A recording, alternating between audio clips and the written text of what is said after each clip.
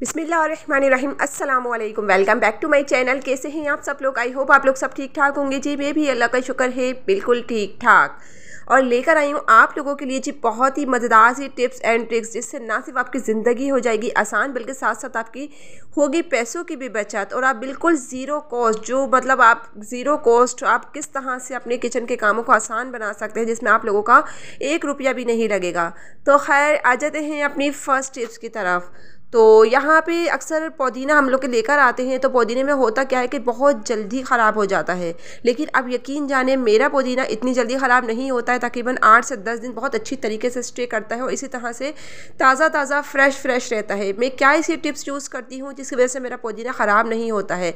आपको पता है जितनी तेज़ी से महँगाई बढ़ रही है तो हम लोग की कोशिश भी यही होनी चाहिए कि हम चीज़ों को ज़्यादा वेस्ट ना करें चाहे को, कोई भी चीज़ हो हम फेंकें ना। तो ज़ाहिर सी बात है चीज़ें ख़राब हो जाएँगी तो हम फेंकने में मजबूर हो जाते हैं, लेकिन आप अपने पौदीने को किस तरह से सेव कर कर रख सकते हैं? आप जब भी बाज़ार से पौदीना लेकर आएँ तो आप इस तरह से बड़ी प्लेट के अंदर इसको फैला के और ना छोड़ दें। दो से तीन घंटा के लिए या फिर पंखा चला के उसको ऐसे ही फैला दें। आप इसको मतलब ये कि बाज़ार से हम जब भी पुदीना लेकर आते हैं तो होता क्या है कि उसके अंदर होता है पानी मॉइस्चर होता है। क्योंकि बाज़ार वाले जो मतलब सब्ज़ियाँ वगैरह जो बेचते हैं ना तो वो पानी बार बार छींटे मारते हैं इसके अंदर बार बार पानी लगाते हैं ताकि उनकी सब्ज़ियाँ जो है फ्रेश रहें और जो भी ख़रीदने आए तो उनको फ्रेश फ्रेश ही नज़र आए। तो हम लोगों को तो सेफ़ करनी है। ज़ाहिर सी बात है, हम पानी वाली सब्ज़ियाँ तो सेफ़ नहीं कर सकते।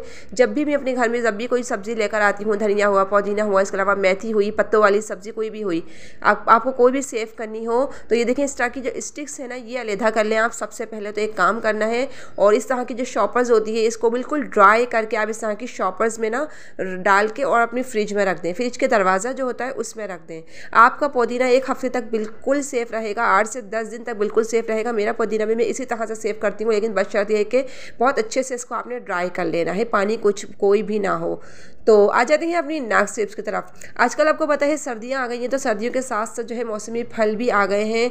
मतलब यह है कि किन्नू, माल्टे और फ्रूटर वगैरह तो ये मतलब आ ही रहे हैं। तो इसके छिलके हम लोग क्या करते हैं, किन्नू तो बड़े शौक से खा लेते हैं, लेकिन इसके छिलके हम लोग बिल्कुल डिस्कार्ड कर देते हैं, कचरा समझ के फेंक देते हैं। लेकिन आपको पता है, ये छिलके हमारे बहुत सी जगहों पर काम आते हैं।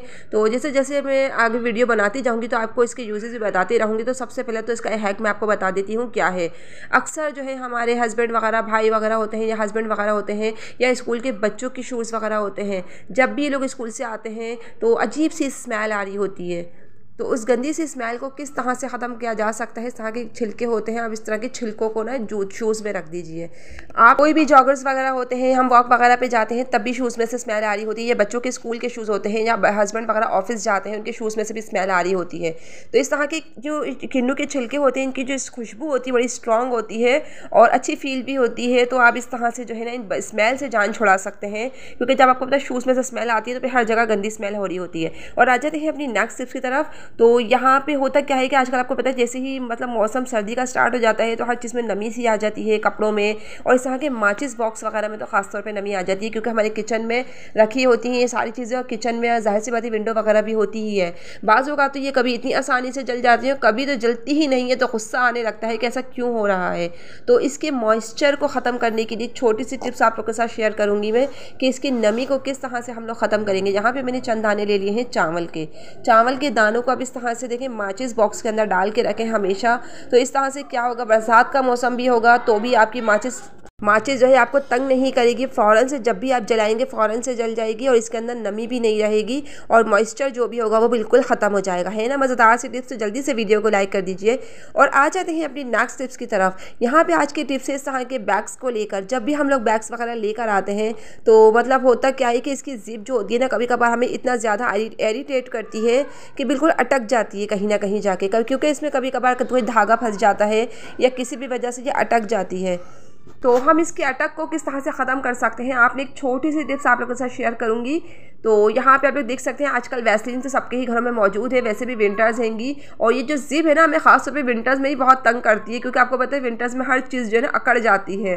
तो बस इसी तरह से कुछ जिप का भी है कि ये ड्राइनेस हो जाती है, इस पर ड्राई हो जाती है ये। तो इसकी वजह से ये जिप जो है ना हमें बड़ा ही तंग करती है। तो आप कोई भी जो है ना पेट्रोलियम जेली ले लें या फिर वैसलीन ले लें, आप इसके निचले हिस्से पर जिप के लगाएँ और थोड़ा सा ऊपरी हिस्से पर भी लगाएँ। तो इस तरह से क्या होगा, चिकनाहट की वजह से जो है ना ये बहुत आराम से खुल भी जाएगी और बंद भी हो जाएगी और आपको कोई परेशानी भी नहीं होगी और आपका बैग भी ख़राब नहीं होगा। क्योंकि बाज़ अवत हम बैग को इसी वजह से भी वेस्ट कर देते हैं कि किसी की जिप ख़राब हो जाती है या जिप हमें बहुत ज़्यादा तंग कर रही होती है। तो इसी तरह से आप अपनी जिप की हिफाजत कर सकते हैं। अपने बैग की भी हिफाजत कर सकते हैं। और बैग की हिफाजत के हवाले से एक टिप्स और भी आप लोगों के साथ शेयर करूँगी यहाँ पर। जब भी हम मार्केट वगैरह जाते हैं या शॉपिंग्स वगैरह करने के लिए जाते हैं तो हमारे बैग में होती है भारी रकम।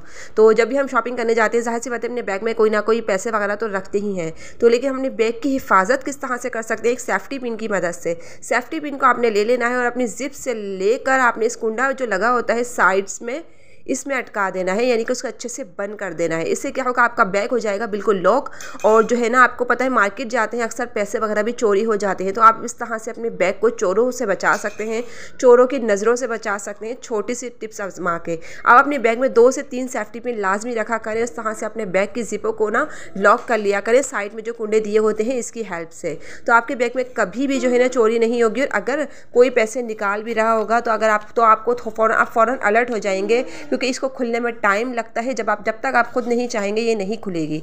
और अब वैसे तो आप लोग के, हम लोग के पास ही होता है बैग, हम लोग अपने पास ही रखते हैं। तो ये कि हम खुद भी मतलब केयरफुल हो जाएँगे। अगर कोई भी हमारे बैग से तरह से पैसे वगैरह निकाल रहा होगा या हमारे बैग में चोरी की नीयत से घुस रहा होगा तो हमें भी अलर्ट हो जाना चाहिए। तो है ना मज़ेदार से टिप्स तो जल्दी से वीडियो को लाइक तो बनता ही है ना। तो आ जाते हैं अपनी नेक्स्ट टिप्स की तरफ़। यहाँ पर अक्सर होता क्या है कि जैसे ही सर्दियाँ आती हैं, हम लोग सर्दी के कपड़े वगैरह निकाल लेते हैं, जो मोटे मोटे कपड़े होते हैं या हाईनेक्स वगैरह होती हैं, छोटे बच्चों की या छोटे बच्चों के कपड़े होते हैं। हम जब उसको आठ, नौ महीने बाद यानी कि निकालते हैं, एक साल बाद सर्दी आती है तो हम हम उसको निकालते हैं, सर्दी से एक महीना पहले ही निकाल लेते हैं स्पेशली छोटे बच्चों के कपड़ों को। और बाकी जो अलमारी में ये कोट वगैरह जो लगे होते हैं, जो स्वेटर्स वगैरह लगी होती हैं तो इनमें अजीब सी स्मेल आ रही होती है कि रखे रखे बन बन चीज़ों में भी ना स्मेल हो जाती है, जो बहुत बदनुमा लगती है। पहनने के बाद तो ज़्यादा ही फील हो रही होती है।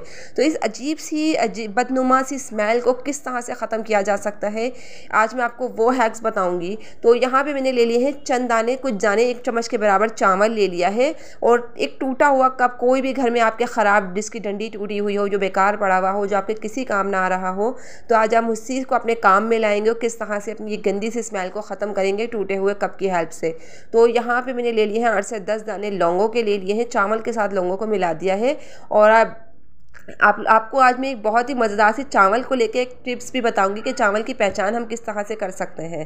तो अभी आप आगे देखते जाएँ। और बाकी यहाँ पे कोई भी अच्छी से खुशबू वाला टेलकम पाउडर ले लीजिए आप। अब इन लोगों के अंदर, चावलों के अंदर अब ये टेलकम पाउडर ऐड कर दीजिए, अच्छी क्वान्टिटी में ऐड कर दीजिए, ताकि जो है ना ये अच्छी तरीके से जो है ना मिक्स हो जाए तीनों चीज़ें। और आप इसको कहाँ कहाँ रख सकते हैं? अक्सर हमारे ब्लैंकेट वगैरह भी हम निकालते हैं। ब्लैंकेट्स के अंदर भी स्मेल हो रही होती है। कोशिश तो आप ये करा करें कि आप पहले जो है ना इनको अच्छे से धूप लगा लिया करें। ब्लैंकेट ब्लैंकेट्स वगैरह को जब भी आप निकालें। अच्छा इस कप के अंदर देखें मैंने टिशू पेपर ऊपर से कवर कर दिया है टिशू पेपर को यहाँ रबर बैंड लगा दी है। अब यहाँ पे इसके अंदर जो है ना, मैं तीन सुराख कर दूँगी, ताकि जो इसकी इसकी पाउडर की जो अच्छी सी फ्रेगनेंस है ना, वो जो हमारे कपड़े हैं, जो मतलब एक साल से बंद रखे हुए हैं, उनमें अच्छी सी खुशबू आने लगे और जो गंदी सी स्मेल है ना, चावल जो है ना, उसको अपने अंदर ऑब्जॉर्व कर लेते हैं और जो टेलकम पाउडर हमने इसके अंदर डाला है ना टेलकम पाउडर जो लौंगे की जो खुशबू होगी, वो हमारे कपड़ों में एक अच्छी सी जो है फ्रेगनेंस पैदा करेगी। तो ये टिप्स आज भी आप लोग भी आजमा सकते हैं, क्योंकि सबके ही घरों में ज़ाहिर सी बात है ये कपड़े इस तरह के निकले हुए हैं या कोट वगैरह हम लोग पहन रहे हैं तो उसमें भी ना मतलब इस तरह के निकलते हैं, या ब्लैंकेट्स वगैरह के पास भी आप इस तरह से रख सकते हैं एक दिन के लिए।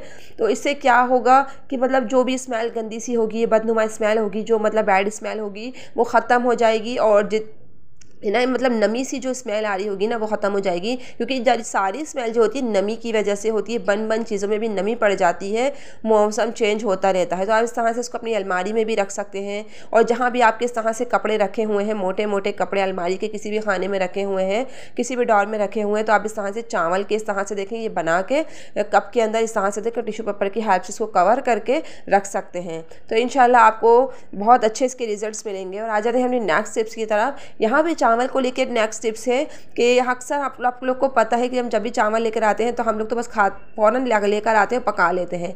लेकिन हमें असली और नकली का भी पता होना चाहिए कि असली क्या है फेक क्या है। तो आजकल आपको पता है वैसे ही हर चीज़ में मिलावटें हो रही हैं। तो मिलावटें हो रही हैं तो ज़ाहिर सी बात है हम लोग के जिसमों पर कोई चीज़ असर भी नहीं करती है। तो आज हम चावल की पहचान किस तरह से करेंगे? मैंने आग चूल्हा जलाया है चूल्हे पर देखे मैं चावल डाल रही हूँ। अब चावल जो असली होंगे ना वो तो बिल्कुल कड़क हो जाएँगे। और जो नक आपको पता है आजकल प्लास्टिक के बने हुए चावल भी आ रहे हैं, जो हमारी हेल्थ के लिए बिल्कुल अच्छे नहीं हैं। और सौ बीमारियाँ जो है ना, बन रही हैं इस तरह के चावल वगैरह खाने से, जबकि हम लोग को इस बारे में कुछ नहीं पता होता है। तो प्ला, हमें किस तरह से पता चलेगा कि हमारे चावल असली हैं या नकली हैं, वो मैं आप लोग को आज शेयर करती हूँ। इन ये टिप आप लोगों के लिए बेहद फ़ायदा देगी, क्योंकि जो दुकानदार होते हैं, अक्सर झूठ बोल के चावल अपने बेचते हैं कि ये असली चावल है, बहुत महँगा चावल है, आप ले जाएँ, आपको बहुत अच्छे लगेंगे। तो भाई, अच्छे लगने की बात नहीं है, हमें पता भी होना चाहिए कि हम जो चीज़ लेके जा रहे हैं, महँगे दामों वो मतलब असली भी है या फिर मतलब फ़ैक ही है। तो यहाँ पे देखें जो अगर ये फ़ैक या मतलब मतलब नकली होंगे फ़ैक होंगे तो ये बिल्कुल प्लास्टिक की थैली नहीं होती है इस तरह से चिपक जाएँगे चावल। और अगर ये बिल्कुल असली होंगे तो ये मतलब ना कड़क कड़क से हो जाएँगे। तो यहाँ पे देखिए काफ़ी देर तक मैंने चूल्हे को जला के रखा, मेरे चावल बिल्कुल भी नहीं जले और तो ये मतलब ये कि कुछ जले थे, कुछ नहीं जले।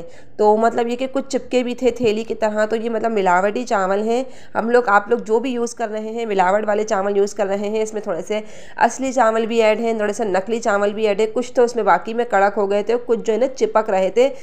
क्या ना वो थैली नहीं चिपकती प्लास्टिक की तो इसी तरह के बस ये चावल हैंगे।